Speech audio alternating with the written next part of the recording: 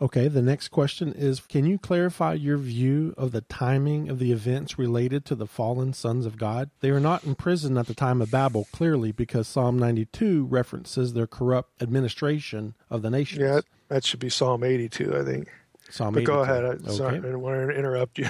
Oh, that's okay. But they are imprisoned by the time of the resurrection. If Christ's descent to proclaim victory references them, does Daniel's quote, Prince of Persia reference indicate that they are not yet in prison by the time of the exile? Yeah, the, the, the question is conflating two different but related things. Um, the original offending sons of God, Genesis 6, were imprisoned in all biblical or Second Temple Jewish traditions that I know of, okay? Second Temple literature, Peter and Jude, of course, presuppose that. So the original offenders in the Genesis 6 incident are I- imprisoned. You know, the abyss, there are different different terms for it, but but they're they're in jail, so to speak, of course.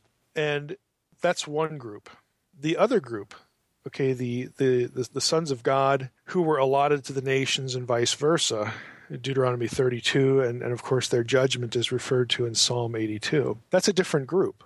These are not the same groups. Uh, you, you get the, the same terminology. Again, sons of God are used of both, but the sons of God of the Babel event, Deuteronomy 32 worldview, are different sons of God than the ones in Genesis 6. Just because the same title is used doesn't mean we're talking about the same entities. So these are the ones, again, the, the ones that are set over the nations. These are the ones under eschatological judgment in Psalm 82. They will lose their dominion. Uh, again, something, you know, I place at the day of the Lord. Uh, before the consummation of the kingdom in, in a new earth. The original offenders are apparently released sometime prior to the day of the Lord, consummation. Uh, I personally think that's the point of Revelation 9, the description of the abyss there and, you know, what's left out of it. And, and that isn't unique uh, to Revelation 9. You will have other passages in Second Temple literature that talk about uh, the release of, again, the original offending Genesis 6 you know sons of god. The the language there you know will vary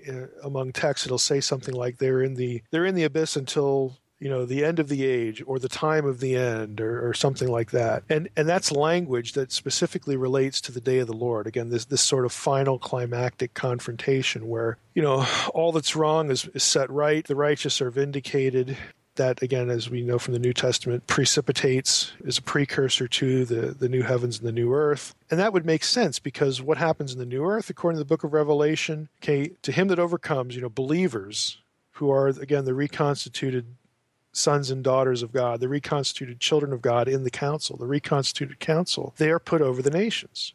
Okay they, they displace the corrupt sons of god that were under judgment that have been dealt with at the day of the lord okay they they take their place you know under god's you know authority god's god's rule. So this is part of the sharing of the kingdom between the the risen and returned christ and his people again we this is this is this joint rulership idea but it actually says they're put over the nations. And again that language is supposed to take us mentally back to well who, who's over the nations now? Well it's these guys you know and, and again this is this is their eschatological judgment. So uh, the, to wrap it up th- th- this question I mean, these are two different groups. So when we conflate them it creates the kind of confusion that's part sort of part and parcel of the way that that question was worded. So in the end all human and divine enemies of god are judged at the day of the Lord, regardless of the chronology of their rebellions. In other words, regardless of, of when they screwed up. Genesis six, we that that's pretty clear. But the corruption of of the uh, the sons of God over the nations. Again, we we're just told that